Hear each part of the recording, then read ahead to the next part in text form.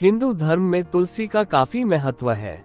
मान्यता है कि तुलसी का पौधा जिस घर में होता है वहीं पर सकारात्मक ऊर्जा का प्रवाह अधिक होता है और नकारात्मक ऊर्जा समाप्त हो जाती है। शास्त्रों के अनुसार तुलसी में माँ लक्ष्मी के साथ भगवान विष्णु का वास होता है। वहीं तुलसी की जड़ों में भगवान शालिग्राम का वास होता है।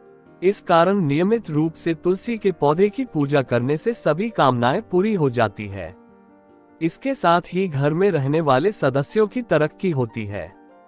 इस तरह जलाएँ दीपक। शाम को नियमित रूप से तुलसी के पौधे के नीचे घी का दीपक जलाएँ। आप चाहे तो दीपक में थोड़ी सी हल्दी डाल लें। इससे पैसों की तंगी से छुटकारा मिलेगा। जलाएँ आटे का दीपक। तुलसी के पौधे के नीचे आटा से दीपक बनाकर जलाएँ। अगले दिन इस दीपक को गाय को खिला दें। शास्त्रों के अनुसार आटे के दीपक को सबसे ज़्यादा शुभ और पवित्र माना जाता है। आटे का दीपक तुलसी के नीचे जलाने से माँ लक्ष्मी के साथ माँ अन्नपूर्णा का आशीर्वाद मिलता है। इससे शुभ फलों की प्राप्ति होगी और आर्थिक स्थिति मज़बूत होगी। दीपक के नीचे रखें अक्षत।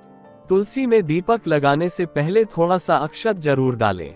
इसके बाद ही घी का दीपक जलाएँ, क्योंकि माँ लक्ष्मी अक्षत का आसन भी ग्रहण करती है। इसलिए आसन लगाना ज़रूरी है। अक्षत को बहुत ही शुद्ध माना जाता है। इसलिए इसका आसन लगाने से दरिद्रता दूर भागती है और माँ लक्ष्मी प्रसन्न होती है। शाम के समय नियमित रूप से तुलसी के पौधे के नीचे घी का दीपक जलाना चाहिए। इस दीपक में थोड़ी सी हल्दी डालना एक अचूक उपाय है। माना जाता है कि इस उपाय से आर्थिक तंगी से छुटकारा मिलता है। माना जाता है कि इस उपाय से आर्थिक तंगी से छुटकारा मिलता है।